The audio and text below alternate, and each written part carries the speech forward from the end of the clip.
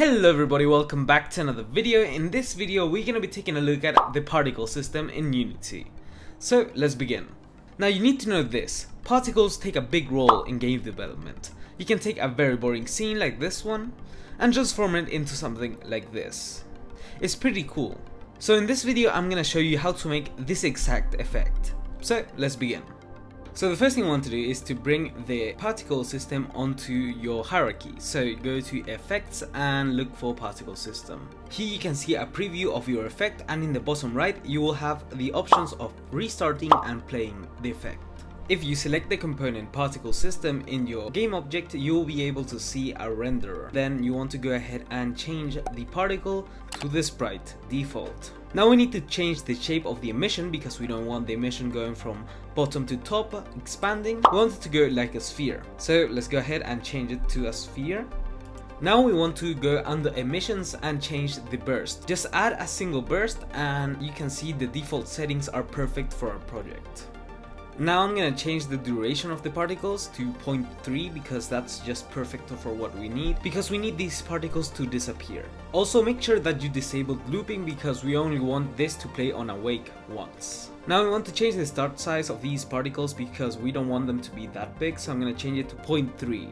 Now we need to fix the error that the particles are not getting smaller by the time, so it looks like they are clearly disappearing. So in the components, let's check size over lifetime, and change the curve to be in our favor, that means being from top to bottom. This gives us another problem, that the particles are not actually disappearing on time, that means we need the endpoint of the curve to be closer to the starting point. So for the last stretch we need to connect the player with the particle so that when the player moves the particle emits. We will need to code.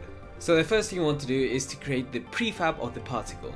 So let's rename it and go ahead and drag it out into our project and delete the remains in the hierarchy. Now we need to go ahead and open a script in Visual Studios which is our player controller and then we want to declare a variable, a public variable which type is a game object so that we can connect that to the particle. And then we want to instantiate this particle so just write in, in then we need to instantiate this particle so let's go ahead and call the instantiate command add the particle because it's part of the game object particle add transform the position as its position and quaternion the identity because it has no rotation. You want to add this command everywhere where your player is detected with movement. So I have some if statements that help me do this so I'm just gonna add one in each if statement. So when we come back to Unity, we can see that now we have to drag the particle game object onto the empty game object that is present in the script file. And after that, we are totally done.